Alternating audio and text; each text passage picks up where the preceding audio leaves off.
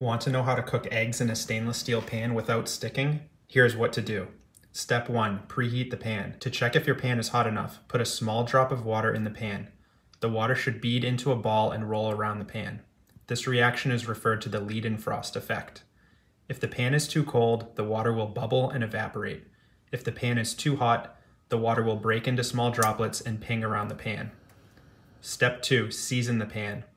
After you preheat the pan, Add oil or butter and coat the pan thoroughly. Step 3. Crack the egg into the pan and leave it alone. Let it cook and solidify for a few seconds before moving it. If you try to move it too soon, it will stick. Two other quick tips. It helps if you take the egg out of the fridge for 10 minutes before you cook it. Cold eggs are more prone to sticking. And make sure the pan is completely clean. If there's grease baked into the pan, the eggs will stick. Check out the full video on my channel for more tips on how to stop food from sticking to stainless steel.